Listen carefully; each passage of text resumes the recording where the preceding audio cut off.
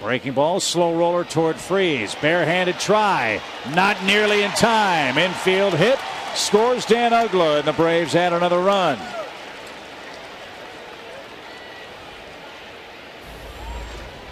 You've heard me say many times, Chip, that put the ball in play. Just put it in play and get a run in. They're playing back. And this is kind of the hit that I'm talking about in that if you put it in play, something good might happen. Not a bad breaking ball from Wainwright, but he didn't get the results he was hoping for, and it turns into a swinging bunt.